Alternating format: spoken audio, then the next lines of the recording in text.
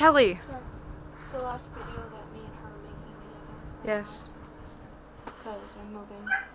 Sad face. And I'm slouching because I'm underneath this. Just thing. move out then.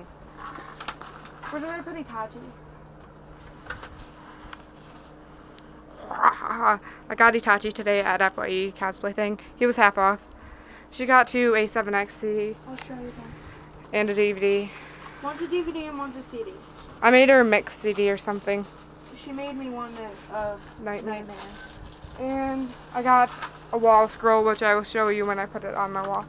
And I'll show you my Kingdom Hearts posters. Here's the all access DVD. Do you do?